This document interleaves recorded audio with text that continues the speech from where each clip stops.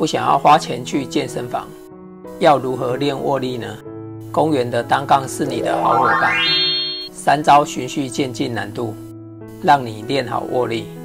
第一招单杠悬吊，可以从三十秒开始挑战，重复个三到四组就很有感了。握力强一点的，时间再往上加。第二招握毛巾拉单杠，这招除了要握住外，还要能拉上去，难度增加不少。可以从二到五下开始，重复个三到四组就很有感了。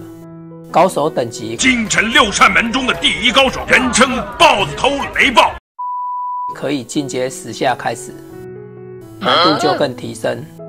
第三招挂毛巾拉动，这招看似简单，其实难度不小，因为拉动毛巾算单手动作，而另一手还要撑住身体重量。